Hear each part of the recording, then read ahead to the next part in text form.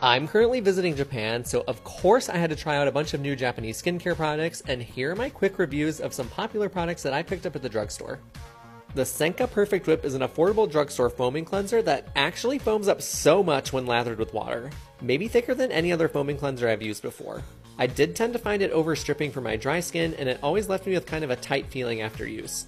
I am obsessed with this Curel Deep Moisture Spray, which has glycerin and ceramides to help support the skin barrier, and I found it so soothing just to use as much as I wanted to throughout the day.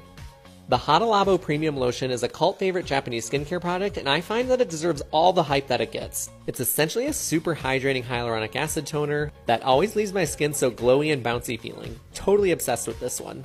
The Skin Aqua Tone Up UV Essence is an SPF 50 sunscreen that feels nice when applied to the skin, but has this kind of weirdish blue tint to it, which looked okay on me, but left my friend with kind of an ashy pale look. And the Suncut UV Perfect Essence is a weightless SPF 50